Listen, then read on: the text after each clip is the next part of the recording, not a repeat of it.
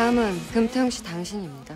김 실장 관련 인사자료 지출 명세서 전부 파기. 백준수 검사 살인미수, 사마천 살인. 금태웅이 사주한 거 맞죠? 묵비권 형사하겠습니다. 금태웅 대표님이랑 무슨 관계입니까? 그 개자식 아들이야. 금태웅 꼭 좀 잡아주이소. 제 인생의 전부를 다 걸 겁니다. 감찰부로 동원하십시오. 사기꾼과 검사가 내통한다. 사도찬 검사 사칭 무슨 이유로 의심했었습니까? 다치지 않게 해주십시오. 뭐? 감찰부? 백준수 오하라 잡아오자. 오검사 무슨 일이야? 오하라